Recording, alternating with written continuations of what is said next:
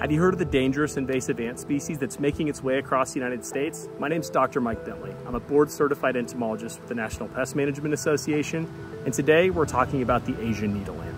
The Asian needle ant is an invasive ant species that was first identified here in the US all the way back in the 1930s, but it wasn't formally recognized as a pest species until about 2006. And one of the important distinctions that separates this ant species than other common pest ants that we may find in and around our homes is its ability to inflict a painful venomous sting. The result of that sting can be pain at the sting site, swelling, but ultimately, most importantly, it can lead to a dangerous allergic reaction if you have a sensitivity to insect venom that can lead to anaphylaxis that can result in landing you in the hospital and even be a potentially fatal reaction.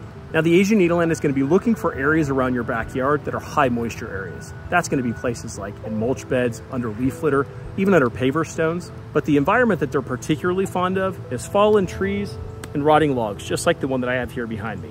So an important tip to avoid potential encounters with the invasive Asian needle ant in your backyard is to be sure to keep these items picked up and keep that backyard clear of debris, items just like this. If you are gonna be working in areas where the Asian needle ant may be present, be sure to wear gloves to help protect you against that potentially painful sting. Now, the Asian needle ant can be relatively difficult to identify and distinguish between other ant species if it's not something you're comfortable with and you're not a trained professional.